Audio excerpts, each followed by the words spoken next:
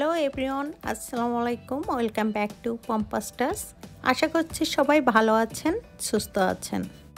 আজ আমি দেখাবো পোড়া পাতিলের দাগ সহজে কীভাবে ওঠানো যায় সেই পদ্ধতিটাই খুব সহজে আপনাদেরকে দেখাবো। মাত্র পাঁচ মিনিটে পোড়া পাতিলের দাগ ওঠাতে পারবেন সেই পদ্ধতিটাই আজ আপনাদের সামনে আমি নিয়ে এসেছি। ভিডিওটি পুরোটাই দেখতে হবে, তাহলে বুঝতে পারবেন কোথায় কোনটা আমি করেছি। স্টেপ বাই স্টেপ আপনাদের সাথে প্রমাণ সহ দেখিয়ে দিব। পোড়া পাতিল পাঁচ মিনিটের মধ্যে কীভাবে দাগগুলো সহজে উঠাতে পারবেন।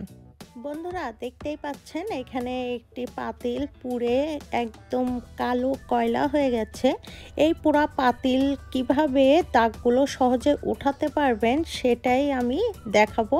অনেক সময় দেখা যায় রান্না করতে করতে হাঁড়ি পুড়ে এরকম কালো হয়ে যায়। তখন এই কালো পোড়া হাঁড়ি দাগ ওঠাতে অনেক কষ্টসাধ্য হয়ে যায়। আজ যে পদ্ধতিটা আপনাদের সাথে শেয়ার করব, খুবই ইজিভাবে আপনারা এই দাগটা সহজে উঠাতে পারবেন। আর শুধু ভিতরের কালো পোড়া দাগ না, হাড়ির পিছনটাও অনেক সময় রান্না করতে করতে এরকম লালচে হয়ে যায়, তেল চিটচিটে কালো হয়ে যায়। আমরা হাঁড়ি রেগুলারভাবে যেভাবে পরিষ্কার করি, সেভাবে উঠতে চাই না। আজ আমি যে পদ্ধতিটা আপনাদেরকে দেখাবো, ঘরোয়া দুইটি উপাদান দিয়েই খুব সহজে আপনারা হাঁড়ি নতুনের মতো চকচক করতে পারবেন। বন্ধুরা, দেখুন, এটা আমি পরিষ্কার করার পরেই হাঁড়িটা এরকম পরিষ্কার হয়ে গেছে আর দেখতেই পাচ্ছেন একদম নতুনের মতো চকচক করছে। আর খুবই কম সময়ে কষ্ট ছাড়াই আপনারা এই কাজটি করতে পারবেন। বন্ধুরা, তাহলে চলুন ভিডিওটি শুরু করি। প্রথমে যেটা করব, পোড়া পাতিল চুলার উপরে নিয়ে নিলাম। এখন দিয়ে দিব এক টেবিল চামচ কাপড় চোপড় কাঁচা ডিটারজেন্ট। আপনারা এখানে চাইলে পাউডারটা ব্যবহার করতে পারেন, আমি লিকুইডটা ব্যবহার করেছি। দিয়ে দিচ্ছি এক টেবিল চামচ বেকিং সোডা। এখানে কিন্তু বেকিং সোডাটাই দিতে হবে। বেকিং পাউডার না। বেকিং পাউডার আর বেকিং সোডার মধ্যে তফাৎ রয়েছে। এখানে আজ ডিটারজেন্ট আর বেকিং সোডাই কিন্তু এই পোড়া পাতিলটা খুব ভালোভাবে সহজে উঠাতে আমাদের সাহায্য করবে। আর এখানে দিয়ে দিলাম পরিমাণ মতো পানি। পানিটার কোনো পরিমাপ নেই। এখানে আন্দাজ করে যতটা পুড়ে গেছে, হাঁড়িটা যাতে পোড়া অংশটা ডুবে থাকে, এই পরিমাণ আন্দাজ করেই পানিটা দিতে হবে। এখন আমি চুলার চালটা অন করে দিয়েছি। এখন এই পানিটা ফুটতে যত সময় লাগে। আমি এখানে পাঁচ মিনিট বলেছি, এখানে আমি পানিটা ফুটতে যত সময় লাগবে, সেই আন্দাজ করে আমি পাঁচ মিনিট বলেছি, এর থেকে কম সময়ও লাগতে পারে। বন্ধুরা, দেখতেই পাচ্ছেন, পানি অলমোস্ট গরম হয়ে গেছে এবং পানিটা ফুটেও উঠেছে। আর এই ফোটার সাথে সাথে একটু লক্ষ্য করুন, এই যে পাতিলের যে পুরা অংশগুলো আস্তে আস্তে অল্প অল্প করে উঠে যাচ্ছে আর যে হলদে ভাব ছিল সেটাও কিন্তু এই পানি ফোটার সাথে সাথে দেখুন খুব খেয়াল করে হলদে ভাবটাও কিন্তু উঠে যাচ্ছে সাথে পোড়া দাগগুলো কিন্তু অল্প অল্প করে উঠে যাচ্ছে। আর এটা গরম হতে আমার কিন্তু পাঁচ মিনিটেরও কম সময় লেগেছে। আর পাঁচ মিনিট আমি বলেছি, পাঁচ মিনিটের মধ্যেই কিন্তু এটা খুব ভালোভাবে উঠে যাচ্ছে। আর প্রসেসিংয়ের ব্যাপারটা, এটা একটু সব কিছু করতে গেলে, একটা প্রসেসিং করতে গেলে সময়ের ব্যাপার, আপনারা জানেন। সেই টাইমটা আমি আর ধরলাম না। আমি পাঁচ মিনিট বলেছি এইখানে পানি গরম করতে আর এই এগুলো সহজে উঠেই যাবে। দেখতেই পাচ্ছেন, পাঁচ মিনিটের মধ্যেই কিন্তু পানিটা গরম হয়ে এসেছে।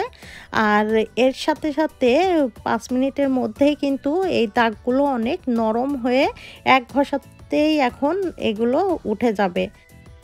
বন্ধুরা পানিটা ফুটে উঠেছে এবং চুলার চালটা আমি বন্ধ করে দিচ্ছি। খুব সাবধানে পানিটা নামিয়ে ফেলতে হবে। এখন আমি চুলার থেকে নামিয়ে একটা স্টিলের গামলায় পানিটা ঢেলে নিচ্ছি। এই পানিটা দিয়েই আমি কিন্তু আজ মাজা ঘষা করব। আর গরম থাকতে থাকতে এই গরম পানির মধ্যে হাঁড়িটা ডুবিয়ে রাখব। আর এই গরম পানির মধ্যে হাঁড়িটা ডুবিয়ে রাখলে হাঁড়ির নিচে যে দাগগুলো আছে যখন আমি মাজবো, খুব সহজে উঠে যাবে। আপনাদেরকে আমি দেখাবো। আর এটা কোনো টাইম নেই। এই পানিটা যখন ঠান্ডা হবে তখন আমি উঠিয়ে পরিষ্কার করে আপনাদেরকে দেখাচ্ছি যে কতটা পরিষ্কার হয়। আপনারা দেখে নেবেন। বন্ধুরা, পানিটা ঠান্ডা হয়ে গেছে এবং হাঁড়িটাও আমি উঠে বাইরে নিয়ে এসেছি পরিষ্কার করতে। ডে লাইটেই আপনাদেরকে পরিষ্কার করে দেখাবো। আমি ব্যাক ইয়ার্ডে এসেছি হাঁড়িটা নিয়ে।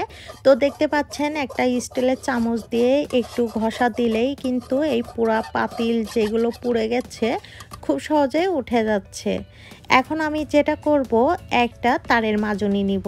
আর এখানে আমি নিব আপনারা ডিশ সোপ অথবা লিকুইড সোপ যে কোনো একটা ব্যবহার করতে পারেন।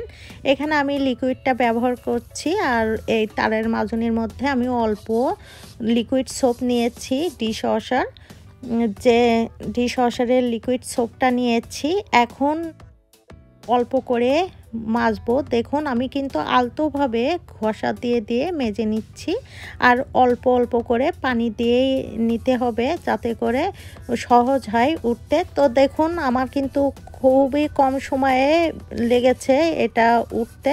আমি আপনাদের সামনেই কিন্তু স্টেপ বাই স্টেপ সব কিছু দেখিয়েছি আর আপনারাও দেখতে পাচ্ছেন এক ঘষাতে কীভাবে যে পুরা পাতিলের অংশটা উঠে যাচ্ছে।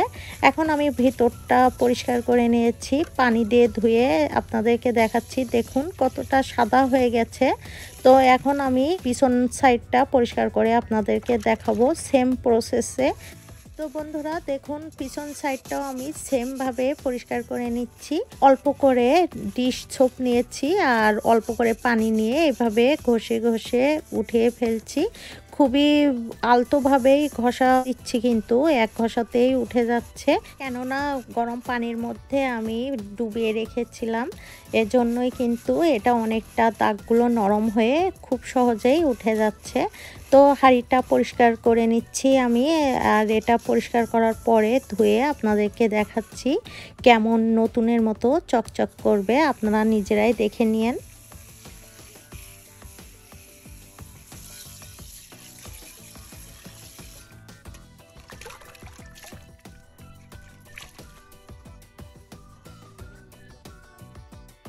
বন্ধুরা, দেখুন আমি কিন্তু পাতিলটা ধুয়ে ফেলেছি আর এই যে ধোয়ার পরে আমি আপনাদেরকে দেখাচ্ছি, দেখুন ভেতরটা কতটা পরিষ্কার হয়ে গেছে। ভেতর থেকে তো উঠে গেছে আর নিচের অংশটাও কতটা পরিষ্কার হয়ে গেছে দেখতেই পাচ্ছেন একদম নতুনের মতো। তো বন্ধুরা, বাসায় কখনো পাতিল পুড়ে গেলে অথবা বাসায় কোনো পুরনো পাতিল থাকলে নিচের থেকে দাগ হয়ে গেছে, ভিতর থেকে সেম প্রসেসেই কিন্তু আপনারা পাতিলটা খুব সহজে পরিষ্কার করতে পারবেন। আপনাদের সামনে প্রমাণ সহ স্টেপ বাই স্টেপ আমি কিন্তু সব কিছুই দেখেছি আপনারা নিজেরাই দেখলেন। তো এভাবে আপনারা এই কাজটি খুব সহজে করতে পারবেন। বন্ধুরা, আশা করছি আমার আজকের ভিডিওটি আপনাদের ভালো লেগেছে।